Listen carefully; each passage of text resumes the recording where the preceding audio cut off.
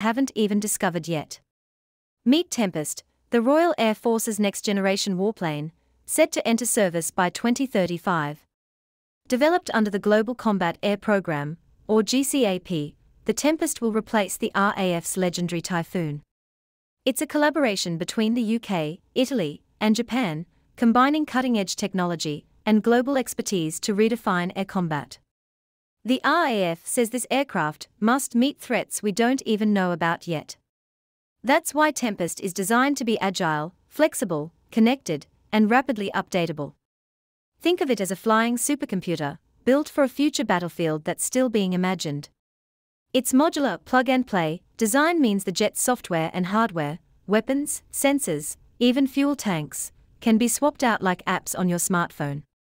This allows the Tempest to adapt instantly for different missions air superiority, reconnaissance, or deep strike.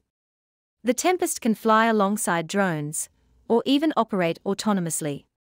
With scalable autonomy, its onboard AI can process massive amounts of data, giving the pilot real time support and decision making assistance. Inside the cockpit, there are no physical dials or screens.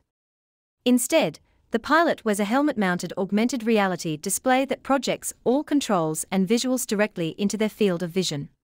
It's like stepping into a science fiction movie, only, it's real. The Tempest's advanced sensors work together radar, infrared, and electro optics, combining into one unified data stream. This combat cloud allows pilots to see, react, and strike faster than ever, while sharing information with other aircraft in the sky.